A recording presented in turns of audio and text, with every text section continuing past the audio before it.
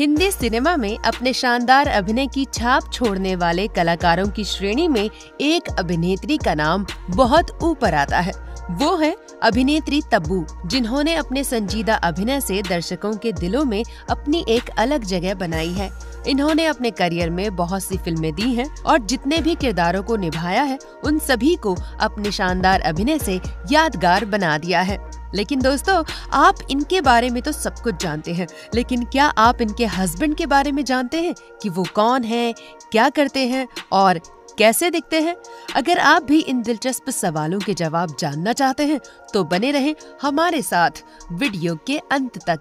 बॉलीवुड की जानी मानी अभिनेत्री तब्बू का असली नाम तबस्सुम फातिमा हाशमी है, जिनका जन्म 4 नवंबर 1971 को हैदराबाद में हुआ था। इन्होंने अपनी शुरुआती पढ़ाई saint Ann's high school Hyderabad से की और कॉलेज की पढ़ाई सेंट जेवियर्स कॉलेज मुंबई से कंप्लीट की। वहीं बात करें इनके करियर की तो इन्होंने अपने करियर की शुरुआत साल 1982 में आई फ़िल्म बाज़ार में बतौर चाइल्ड आर्टिस्ट की।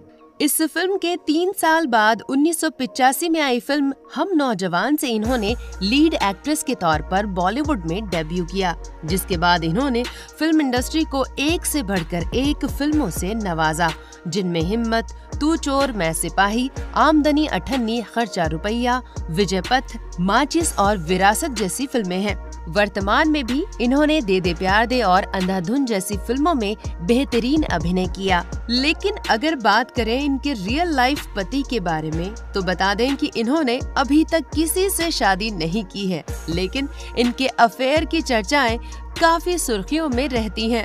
इनका सबसे पहला अफेयर सह कलाकार संजय कपूर के साथ था, लेकिन इनका ये रिश्ता ज़्यादा दिनों तक नहीं चल पाया। संजय कपूर से ब्रेकअप के बाद तब्बू ने साजिद नाडियाडवाला को डेट करना शुरू कर दिया। एक दूसरे को काफ़ी सालों तक डेट करने के बाद जब एक इंटरव्यू के दौरान तब्बू ने साजिद के साथ रिश्ते को लेकर खुलासा किया तो साजिद ने इनसे अपने सारे रिश्ते तोड़ दिए।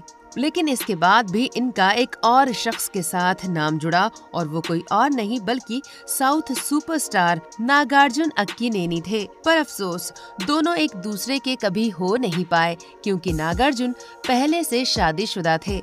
वैसे साल 2015 में भी खबरें आई थी कि तब्बू ने गुपचुप तरीके से किसी बिजनेसमैन से शादी रचा ली है, पर उसका भी कोई पुख्ता सबूत नहीं मिला था।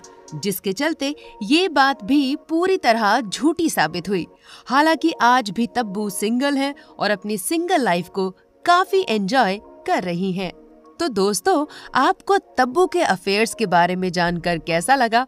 आप अपनी राय हमें कमेंट बॉक्स में कमेंट करके ज़रूर बताएँ। साथ ही बॉलीवुड की इंटरेस्टिंग खबरों को जानने के लिए आप हमारे चैनल को सब्सक्राइब करना ना भूलें।